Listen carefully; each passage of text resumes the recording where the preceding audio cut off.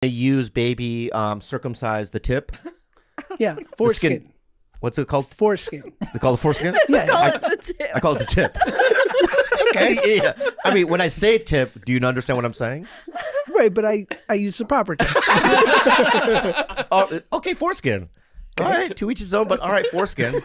so they take the foreskin of a baby, right? And I don't know how they remove that, but I'm sure it's quick. the scalpel.